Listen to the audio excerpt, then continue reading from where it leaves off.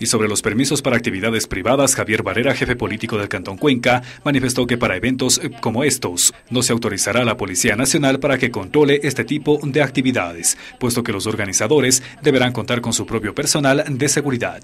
Quien desea hacer un evento privado con fines de lucro debe contratar su propia seguridad privada. Corresponde a la Policía Nacional simplemente trabajar los, en la seguridad exterior. Recordemos que los eventos con fines de lucro tienen un costo y dentro de ese costo debe incluir la contratación de un plan de contingencia que implique eh, seguridad privada. Pero eso sí, la Secretaría Nacional de Gestión de Riesgos dará el aval si el evento privado cumple o no con los niveles de seguridad.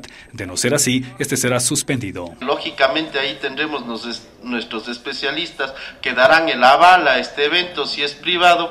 Para eso tenemos el concurso de Policía Nacional y Guardia Ciudadana, que son los que analizarán si realmente la seguridad cumple o no cumple para que se desarrolle el evento. De igual manera, estas resoluciones se toman de cara a las fiestas de independencia de Cuenca. Wilmer Prado, el informativo.